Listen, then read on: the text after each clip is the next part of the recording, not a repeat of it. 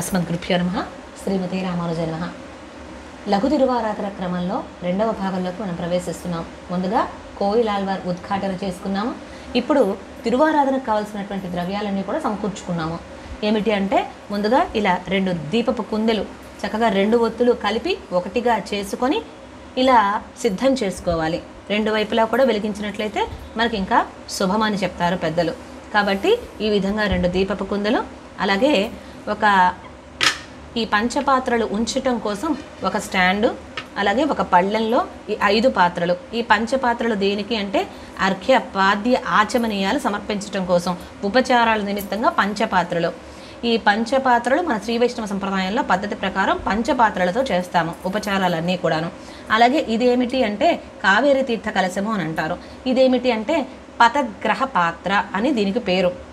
ఇప్పుడు చూడండి ముందుగా తీర్థం తీసుకున్నాం కదా ఈ కావేరి తీర్థంలోనే ఇలా కొంత తీర్థ పొడి అంటారు. ఇది తీర్థ పొడి అండి.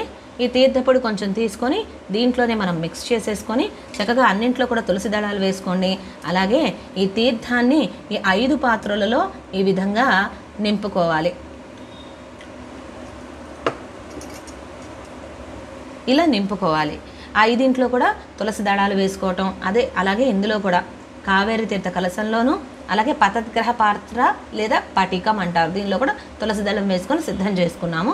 ఇప్పుడు ఈ తీర్థప్పుడు ఎలా తయారు చేయాలి అంటే మనకి మన ఆచార్యులు వారు ఏం చెప్పారు అంటే కొంత కుంకుమ పువ్వు అలాగే ఇదిగోండి తీర్థపొడి ఈ విధంగా ఉంటుంది.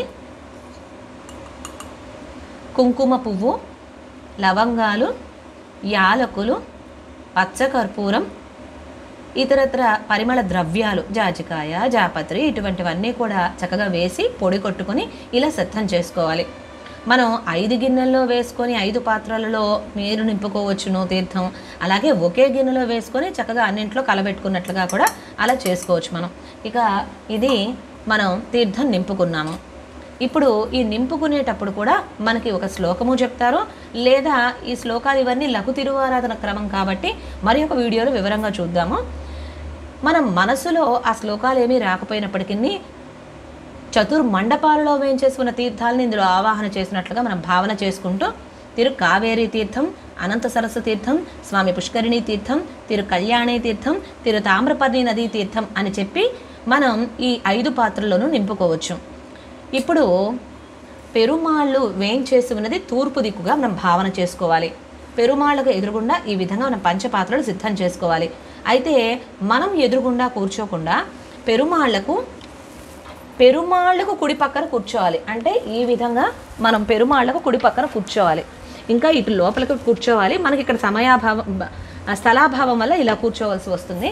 ఇలా కుడిపక్కగా కూర్చొని ఇప్పుడు ఇక్కడ ఉన్నది మనకి పెరుమాళ్ళకి ఎదురుగుండా మనకి ఎడం వైపున పెరుమాళ్ళకు కుడివైపున ప్రథమంగా ఉన్నది అర్ఘ్యపాత్ర. ఇది అర్ఘ్యపాత్ర. దీంతో పెరుమాళ్ళ యొక్క శ్రీహస్తాలు శుభ్రం చేసినట్లుగా మనం భావన చేస్తూ అర్ఘ్యం సమర్పయామి.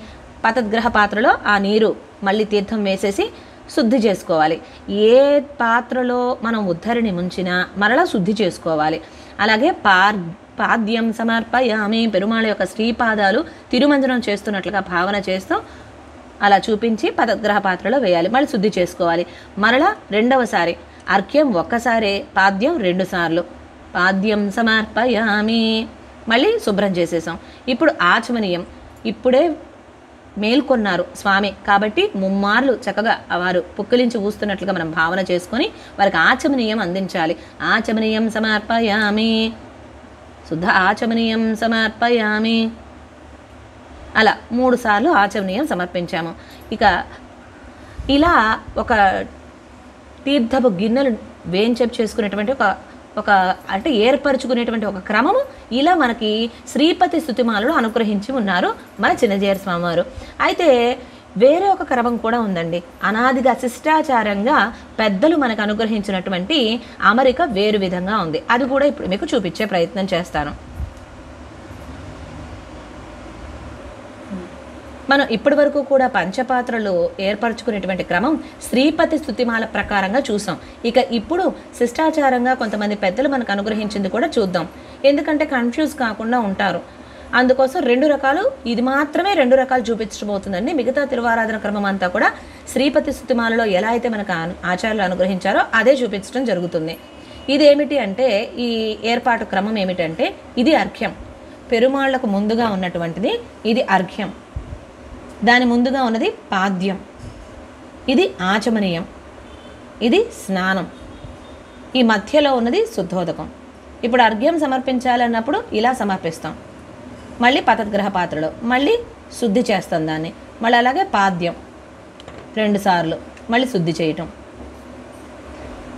మళ్ళీ రెండుసార్లు తర్వాత ఆచమనీయం. మళ్ళీ ఆచమనీయం.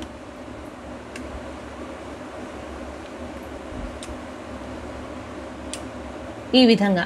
ఇది శుద్ధాదక జల పాత్ర.